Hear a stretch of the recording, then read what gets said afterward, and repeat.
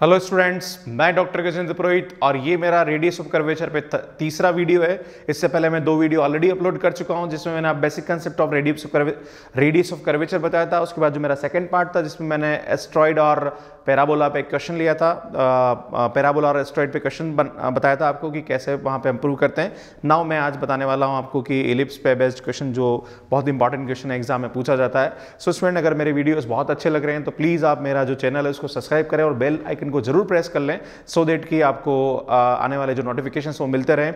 और लाइक ज़रूर करें, क्योंकि हम जो टीचर हैं इतनी मेहनत से वीडियो बनाते हैं तो हमारी एक ही एक्सपेक्टेशन रहती है कि आप लाइक करें सो देट कि मुझे मोटिवेट मोटि मैं थोड़ा मोटिवेशन फील करूँ और मैं आगे आप भी बहुत अच्छा और आपके लिए इंपॉर्टेंट कंटेंट लेके आऊँ। सो स्टूडेंट यहाँ पे आई टे बारह यहाँ पे मेरे पुराने वीडियोस आप देख सकते हैं। सो so, देखिए आप यहाँ पे बोल रहा है कि at any point P of the ellipse X square upon A square plus Y square upon B square is equal to one आपको ये प्रूव करना है कि rho is equal to A square sine square T plus basis B square cos square T power three by two upon A B second part दे रखा A square B square upon P cube where P is the length of perpendicular drawn from the centre on the tangent at P third third proof बोल रखा है rho is equal to C D Q upon A B where C P and C D the pair of conjugate diameters and D दे रखा है A B power two by three rho one power two by three plus rho two power two by three is equal to A square B square where rho one and rho two are the radius of curvature at the end of extremities of the conjugate diameters so student exam में ये तीन question है.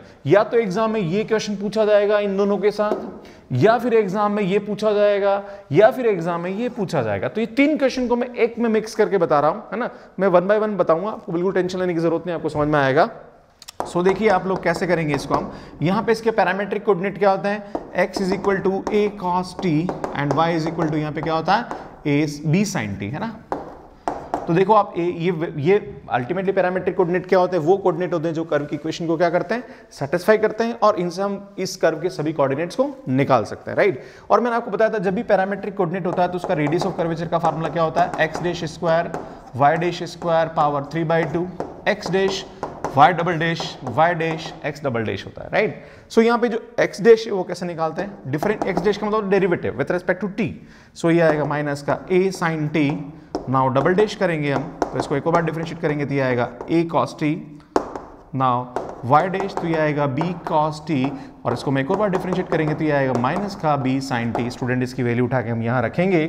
तो rho is equal to X dash का square इसका square करेंगे तो ये आएगा A square sine square T plus Y dash का स्क्वायर इसका स्क्वायर करेंगे तो ये आएगा B square sine square T cos square sorry cos square T power three by two X dash Y double dash इन दोनों को मल्टीप्लाई करेंगे हम तो ये आएगा आपके पास minus minus plus A B sine square T minus this into this तो minus minus वापस प्लस हो जाएगा।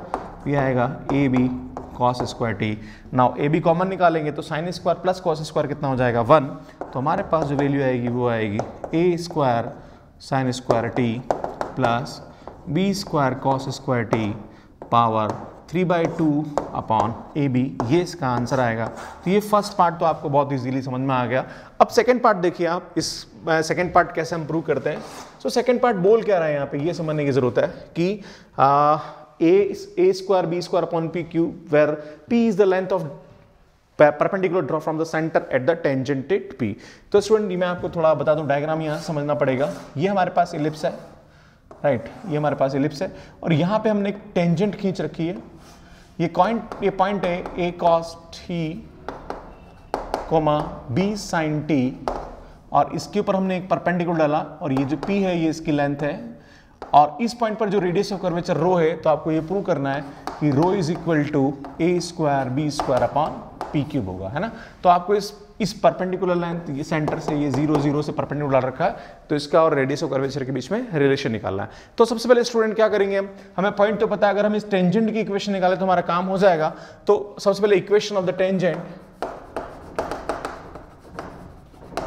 at P ये पी पॉइंट ले लीजिए आप कैपिटल पी पॉइंट ले लीजिए, है ना?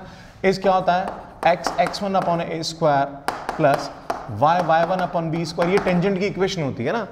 क्या होती है? X X one upon A square plus Y Y one upon B square जहाँ पे एक्स वन कौन सा पॉइंट है? ए कॉस टी और वाई वन कौन सा पॉइंट है? ए बी साइन टी तो ये पॉइंट उठा के रखेंगे हम। तो ये आएगा आपके पास एक्स अपॉन ए स्क्वायर ये रखेंगे A cos T plus Y upon B square ये आएगा आपके पास B sine T is equal to one मैं यहाँ रखूँगा A cos T comma B sine T right तो पॉइंट रख दिया हमने यहाँ पे। नाउ क्या करेंगे? इज़ इक्वल टू वन ये ए से कैंसिल हो गया। बी से भी कैंसिल हो गया। तो यहाँ से हमारे पास वैल्यू आएगी। Cos T upon X and sine T upon B Y is equal to one अब मैं ये जो डायग्राम इस डायग्राम को थोड़ा सा ढंग से बना रहा हूँ। तो स्टूडेंट हमारे पास ये जो पॉइंट है, ये पॉइंट ये रह गया और ये हमारी लेंथ है। और इस लाइन की जो ये जो टेंजेंट है, ये वाली ये वाली लाइन को मैं ये बना रहा हूँ राइट तो इसकी जो इक्वेशन आई, वो कितनी आई? Cos T upon A into X sine T upon B Y is equal to one और ये जो पॉइंट दे रखा है, ये ज़ीरो कोमा ज़ीरो है है ना? मैंने इस डायग्राम को यू बना दिया राइट अब मुझे ये पी निकालना है ना? रेडियस ऑफ़ कर्वेचर रो तो मेरे पास निकली हुई है। रो तो पता है, अब मुझे रो और पी में रिलेशन निकाल तो मुझे पी चाहिए। पी क्या है यहाँ से? ज़ीरो ज़ीरो से इसकी क्या है? डिस्टेंस है। और डिस्टेंस का फार्मूला स्टूडेंट क्या होता है? जहाँ पर एक्स है वहाँ ज़ीरो रखेंगे तो ज़ीरो आएगा, जहाँ वाई है वहाँ ज़ीरो रखेंगे तो ज़ीरो आएगा, और वन को इधर लाएँगे। ये ट्वेल्थ क्लास में फार्मूला आता है डिस्टेंस का फार्मूला एक्स के कॉफिशियंट का स्क्वायर अपॉन एस और वाई के कॉफिशियंट का स्क्वायर अपॉन बी स्क्वायर है ना? तो इसको हम सिंप्लीफाई करेंगे स्टूडेंट तो मैं थोड़ा सा सही से लिखता हूँ इसको. तो ये पी ना उसका एल्शियम लेंगे अपन तो ये आएगा वन अपॉन कितना आएगा? ये पॉजिटिव है ना? मैं मॉड लगा रहा है मतलब पॉजिटिव वैल्यू है. सो आएगा B square cos square T plus A square sine square T है ना? और ये अंडर रूड है तो मतलब पावर वन बाई टू लिख देता हूँ. और ये नीचे ए स्क्वायर बी स्क्वायर अगर अंडर रूड है तो ए बी हो जाएगा. तो ये ए बी को मैंने कहा लिख दिया? ऊपर लिख दिया राइट नाउ अब आपको आपको ये प्रूव करना है तो मैं काम करता हूँ, मैं इसको लेके चलता हूँ राइट इसकी वैल्यू निकालता हूँ, अगर इसकी वैल्यू रो आ जाती तो मेरा प्रूव हो जाएगा। तो मैं क्या करूँगा, सबसे पहले इसको उल्टा करता हूँ राइट है ना? तो उल्टा करूँगा तो वन अपॉन क्या आ जाएगा, ये पी है ना? तो ये क्या होगा देखिए, आप इसको उल्टा करा रेसिप्रोकल किया तो ये आएगा A square sine square T plus B square cos square T power one by two upon यहाँ पे क्या हो गया? ए बी नाउ अब आपको यहाँ पे पी क्यूब चाहिए। तो दोनों तरफ़ क्या करेंगे आप? क्यूब करेंगे। दोनों तरफ़ क्यूब करेंगे तो स्टूडेंट क्या आएगा? ये P cube is equal to A square sine square T plus B square cos square T और ये क्यूब करेंगे तो ये थ्री बाई टू आएगा। Divided by A B power cube हो जाएगा। अब आपको यहाँ पे चाहिए ए स्क्वायर बी स्क्वायर तो एक काम करें, दोनों तरफ़ ए स्क्वायर बी स्क्वायर से क्या कर दें? मल्टीप्लाई कर दें। तो स्टूडेंट यहाँ पे इसकी जो वैल्यू है, वो क्या आनी चाहिए? रो आनी चाहिए राइट तो हम वही करेंगे। तो यहाँ से क्या हुआ देखिए आप लोग? A square B square upon P cube और स्टूडेंट यहाँ पे ए क्यूब बी क्यूब आएगा और ये स्क्वायर बी स्क्वायर तो नीचे क्या बच जाएगा? ए तो ये आएगा A square sine square T plus B square cos square T power three by two नीचे ए भी बचेगा और हम जानते हैं स्टूडेंट ये किसके बराबर होता है? रो के बराबर होता है। तो इस तरह से इस पार्ट को हम क्या करते हैं? प्रूव करते हैं। नेक्स्ट अब दूसरा और तीसरा पार्ट मैं आपको बताऊँगा। अब स्टूडेंट इसका थर्ड पार्ट देखिए आप। थर्ड पार्ट क्या करते हैं? ये इसका थर्ड पार्ट है दैट इज़ सी पार्ट है। आपको प्रूव करना है कि रो इज़ इक्वल टू क्या प्रूव करना है आपको? Rho is equal to C D Q upon A B where C P and C D are the conjugate diameter तो मैं आपको बता दूँ स्टूडेंट ये हमारा पास पैराबोला है है ना? सॉरी इलिप्स है ना? यहाँ पे हमारे पास जो P पॉइंट है सॉरी C पॉइंट तो ये है मेरा, और ये मेरा P पॉइंट था, क्या था? A cos t comma B sin t, और यहाँ पे एक D पॉइंट लेना पड़ेगा। तो ये बोल रहा है कि जो CP है, और ये क्या CD ये क्या कॉन्जुगेट डायमीटर्स हैं? कॉन्जुगेट डायमीटर का कंसेप्ट ये होता है स्टूडेंट जिनके बीच में 90 डिग्री का क्या हो? एंगल हो। और अगर मैं इनको आधा कर दूँ तो ये हमारे होते हैं सेमी कॉन्जुगेट डायमीटर्स राइट तो हमने क्या कर दिया इसको? आधा कर दिया, है ना? है ना? नाउ अब देखो ये ए कॉस टी और बी साइन टी अब स्टूडेंट 90 डिग्री पे, ये A cos T B sine T तो 90 डिग्री पे कॉस क्या हो जाता है? अगर मैं 90 प्लस थीटा टी करूँगा तो ये आ जाएगा माइनस का ए साइन टी हो जाएगा और इधर आएगा ये आपके पास 90 पे बी कॉस टी हो जाएगा। ठीक है? 90 पे क्या करेंगे? अरे यहाँ t की जगह 90 प्लस टी कर दिया भैया तो माइनस का साइन टी हो जाएगा और 90 प्लस टी किया तो ये कॉस टी हो जाएगा राइट तो ये डी कोऑर्डिनेट आ गया अब आपको क्या करना है? आपको प्रूव करना है डी है ना? तो डी ये सी पॉइंट क्या है स्टूडेंट ज़ीरो कोमा ज़ीरो है। तो डी निकालेंगे अपन तो ज़ीरो ज़ीरो से इसकी डिस्टेंस तो स्टूडेंट क्या होता है डिस्टेंस का formula X one minus X two का whole square plus Y one minus Y two का होल स्क्वायर तो स्टूडेंट क्या होगा? एक्स वन क्या ज़ीरो और माइनस करेंगे तो ज़ीरो माइनस इसका करेंगे तो ये A square sine square T आ जाएगा और ज़ीरो माइनस इसका होल स्क्वायर करेंगे तो ज़ीरो तो मतलब ही नहीं है तो ये आ जाएगा B square cos square T now अब आपको ये प्रूव करना है लाइक ये प्रूव करना है तो अपन ये लेके चलेंगे और इसको इस मतलब इसकी वैल्यू लेके आएँगे और अगर इसकी वैल्यू रो आ जाती तो प्रूव हो जाएगा राइट तो हम क्या करेंगे सबसे पहले C D is equal to दोनों तरफ़ क्या करता हूँ मैं? क्यूब करता हूँ। क्यूब करूँगा तो स्टूडेंट ये देखो A square sine square T plus B square cos square T की पावर कितनी? वन बाई टू है है ना? और दोनों तरफ़ क्यूब किया तो कितना आ गया? थ्री बाई टू नाउ अब क्या करेंगे? दोनों तरफ़ ए बी से डिवाइड करेंगे। क्या करेंगे? ए बी से डिवाइड करेंगे। तो मैंने इसको ए बी से डिवाइड किया। तो जैसे ए बी से डिवाइड किया तो B square cos square T power three by two divided by A B और स्टूडेंट ये हमारा पास क्या होता है? रो होता है। है ना? आपको पता है ना ये हमारा क्या होता है? रो होता है। तो इससे हमारा सीधा सीधा ये प्रूव हो जाएगा राइट सो so, अब इसका थर्ड मैं आपको लास्ट पार्ट बताता हूँ कि लास्ट पार्ट को कैसे हम प्रूव करते हैं। सो स्टूडेंट्स इसका लास्ट पोर्शन देखिए आप लास्ट पोर्शन में क्या है यहाँ पे? A b power two by three rho one power two by three plus rho two power two by three is to आपको a square b square prove करना है जहाँ पर रो वन और रो टू दो रेडियस ऑफ़ कर्वेचर कहाँ पे? End of the extremities of the conjugate diameter मतलब ये हुआ मेरे भाई कि ये कॉन्जुगेट डायमीटर का एंड पॉइंट है इस पॉइंट पर radius of curvature rho one है। इस पॉइंट पर radius of curvature rho two है तो आपको ये प्रूव करना है। तो ये मैं बता दूँ, बहुत सिंपल सा क्वेश्चन है। देखिए आप क्या करेंगे सबसे पहले radius of curvature at P point है ना? मतलब कौन सा पॉइंट है? A cos t comma b sine t और स्टूडेंट मैं आपको बता दूँ, जो हमने रेडियस ऑफ़ कर्वेचर निकाल दी a cos t b sine t तो ये पी पॉइंट ही था। और स्पेस की रेडियस ऑफ़ कर्वेचर कितनी है? ये आई तो ये हमारा क्या हुआ? रो वन हुआ, है ना? सो रो वन हमारे पास क्या होगा? Rho one is equal to आएगा आपके पास a square sine square t plus b square cos square t power three by two upon a b now अब क्या करेंगे हम वापस? हम निकालेंगे radius of curvature at D point है ना? तो डी पॉइंट पर रेडियस ऑफ़ कर्वेचर कितनी आएगी? A minus sine t comma b cos t तो स्टूडेंट यहाँ पे फ़र्क क्या पड़ रहा है? जहाँ पर कॉस है, वहाँ पे क्या आ रहा है? साइन आ रहा है और साइन की जगह क्या आ रहा है? कॉस और कॉस की जगह माइनस का साइन आ रहा है। तो इस फार्मूले में हमें वापस से कैलकुलेट करने की ज़रूरत नहीं है। हम क्या करेंगे इसको? रो टू ले लेंगे। जहाँ पर साइन वहाँ क्या रख देंगे? कॉस और जहाँ कॉस वहाँ रख देंगे माइनस साइन तो स्क्वायर होने पर वापस पॉजिटिव हो जाएगा। तो ये होगा a square cos square t plus b square sine square t power three by two upon b student मैं आपको बता दूँ है ना? इस कोऑर्डिनेट में क्या चेंज हो रहा है? कॉस की जगह क्या आ रहा है? साइन आ रहा है। तो यहाँ कॉस की जगह हम क्या रखेंगे? साइन और यहाँ इस कोऑर्डिनेट में क्या हो रहा है? साइन की जगह कॉस आ रहा है ना? तो जहाँ पर भी साइन है, वहाँ क्या रख देंगे हम? कॉस और स्क्वायर है तो नेगेटिव का कोई फ़र्क पड़ने वाला नहीं है। ना हम इसका एल लेंगे स्टूडेंट तो एल कितना है? A b power two by three rho one power two by three plus rho two power two by three is equal to a b power two by three now rho one इस rho one की power two by three ये rho one इसकी power two by three तो two by three से three by two क्या हो जाएगा?